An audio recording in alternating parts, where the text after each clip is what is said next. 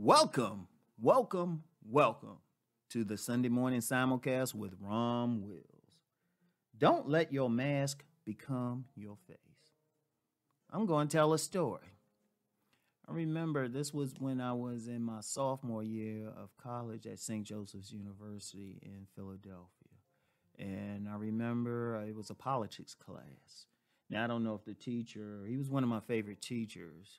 Uh, and I still have, um, I still have some books from that class. That's how much of a favorite teacher he was, right? And I'm gonna tell you what.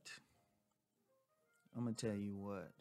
He told a story. We came into class, we sat down, he told a story, right? And he told a story about a man who had gotten his face burned in a fire real badly. He got, in. this was a guy who was living an ordinary life and not much going on for him. And he got his face burned in this fire. So he went to this mask maker, you know, to put up, to give him a mask to cover up the burns and everything, right?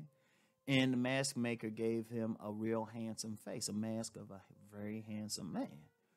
And this man's life changed, right? This man's life changed. All of a sudden, he was becoming successful. He was getting attention from the ladies. He was getting all this excitement. But at some point, things started going the other direction because yes, it brought some uh, it brought some positive things, but it also brought some negativity which is a reality in life. You know, that's just a reality in life. You know, if things are going well, eh, something negativity always comes. It depends on how you're gonna deal with it, right? But anyway, you know, it got to the point that the negativity became so strong, and the man realized it was because of the mask. So he went back to the mask maker, and I mean, the stuff was so bad, he was willing just to walk around with that burnt face. So he went back to the mask maker and he said, "Hey, I need you to take this mask off, right? I need, I, this is, is, is bringing me a whole lot of problems." So the mask maker took it off, and once he took, once the mask maker took off the mask, he stepped back and said, "Oh no."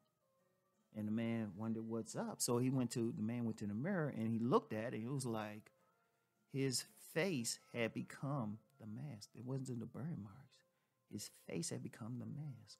He had worn it so well. And I remember when the teacher told us that story, he actually dismissed us after he finished that story. He dismissed us. He said, Hey, y'all can leave early today. And that story has stuck with me to this day. I'm going to tell you what, going through life, people are wearing masks. And I've talked about this numerous times. I've talked about it on these Sunday messages. I talk about it a whole lot on my Deep Thought channel. We got these masks out here. We got these masks. And the thing is, we cannot allow the mask to become our face. Because look, this is what happens. When we go through life to deal in society and also in response to traumas through myriad reasons, we start putting on a mask we start hiding our true selves. We start burying our true personality. Now, if somebody is in an intimate relationship with us or extremely good friends, maybe they lucky to even see a part of your true face. But we get to the point we wear that mask so much, we even wearing it in our intimate relationships. But see, that mask, you know, it's a protection in some ways, but it's also a curse because it will draw certain things to you. It will draw certain negative experiences. And then the main thing, even with uh, whether they draw positive or ne- negative experiences, it's not your true self. It's not your authentic self. Because your authentic self is perfect. Your authentic self was made by your creator. So that that that's then that's the key. That's the key to really having happiness is to be your authentic self. But see, most of us, 99.9% of us, myself included, have been wearing those masks. Now, I've gotten a little bit better. I've been able to chip at the mask and things are getting better, but yeah, it's a tough chip, right? Because that mask had become my face. So I'm chipping at it, chipping at it, but that's everybody else. That mask becomes their face. You think this is who they are. It's like, no. It's what their mask is, it's their exoskeleton.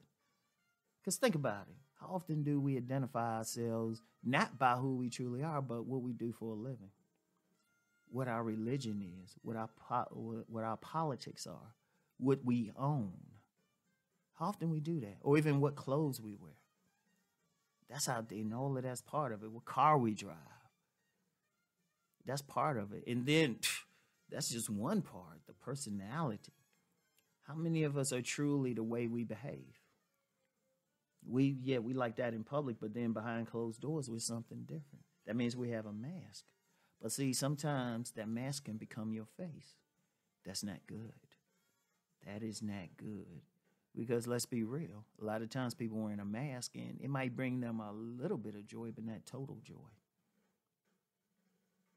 Think about it. Not total joy. It's really hurting us in like myriad ways. You know, it's bringing us negative experiences or people fall, or you know what, especially intimate relationships or male female relationships, or however you want to relate. You know, it brings people to us, but they didn't see your true self. They see the mask. But then when they in an actual relationship, they might even get married to you. When they see past that mask, they don't like what they see. So that brings you pain. That brings you sadness. You know, and we just keep going with it. You know. It's, it's become who we are. See, your face, your face is already there. Your face is perfect. Your face was made by your creator. I got to emphasize that more and more.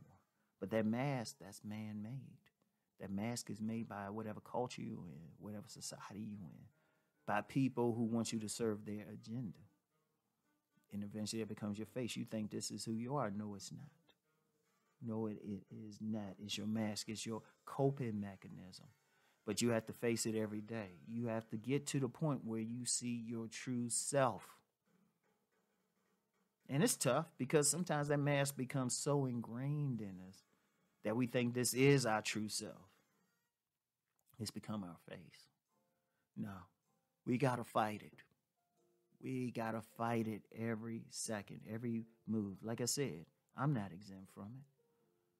I am not exempt from it. And one of the things that's helped me in the past few years is that I fought it more and more and more. I'm chipping away. I am chipping away at it. Everybody else has to chip at their mask. All right? Don't let your mask become your face. Please think on everything I just said. Peace and blessings, everyone.